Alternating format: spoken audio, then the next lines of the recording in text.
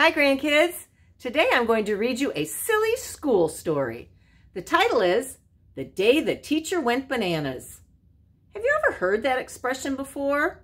Somebody going bananas or somebody went bananas? That means that they kind of went a little crazy. They got a little wild. Why do you think a teacher might go bananas? Let's read and find out. The Day the Teacher Went Bananas by James Howe, illustrated by Lillian Hoban. And I want to show you something special on this title page. This book belongs to Monica. That's your mom or your aunt. And it's signed by the author, James Howe. I just wanted to share that with you. Let's read.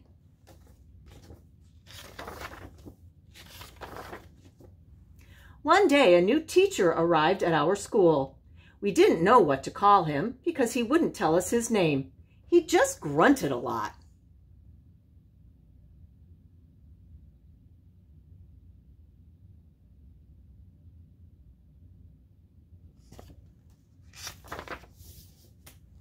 When it was time for arithmetic, he showed us how to count on our toes.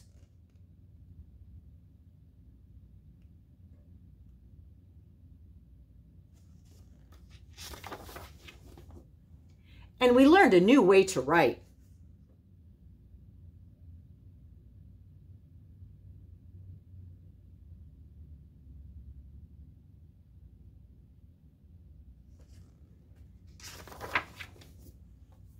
We went outside for science class.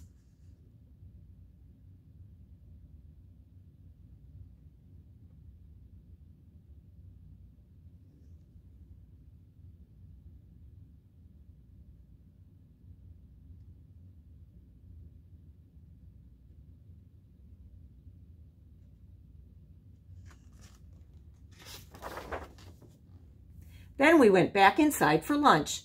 The teacher ate 16 bananas. Tomorrow, let's bring bananas for lunch, we all said, wanting to be just like our new teacher.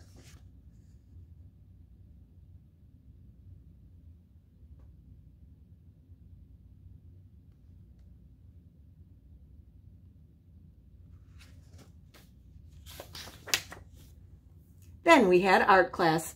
Our teacher taught us how to work with clay and paper and paint.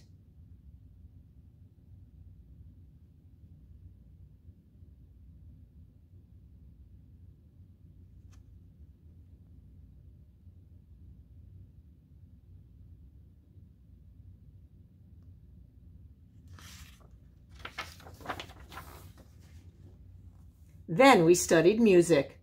Suddenly, Mr. Hornsby, the school principal, came into the room with another man.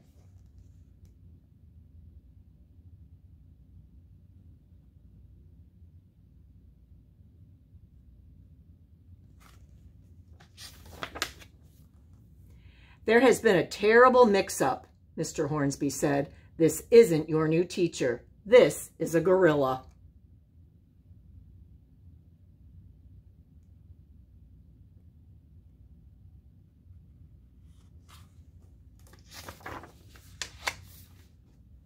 The man with Mr. Hornsby said, I am your new teacher. My name is Mr. Quackerbottom.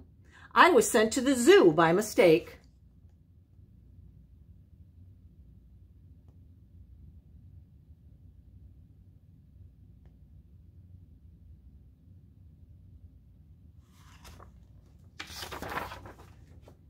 Sadly, we all waved goodbye to the gorilla.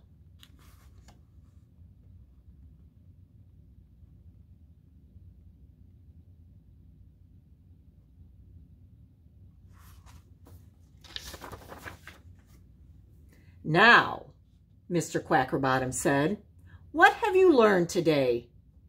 We showed him.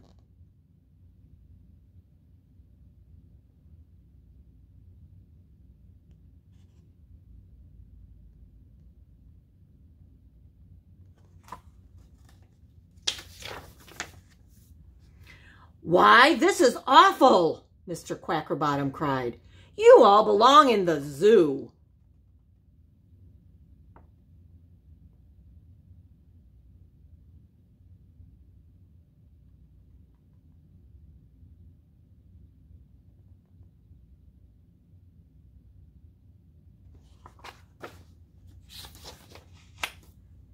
And the next day, that's exactly where we went.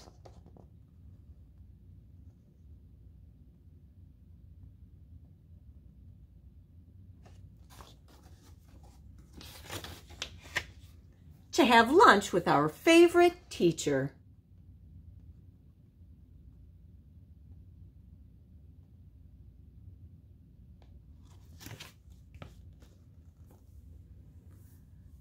Why did the teacher go bananas? Because he was a gorilla. How did the kids end up with a gorilla as a teacher? And how is that problem fixed? Love you guys. Miss you too. Bye-bye.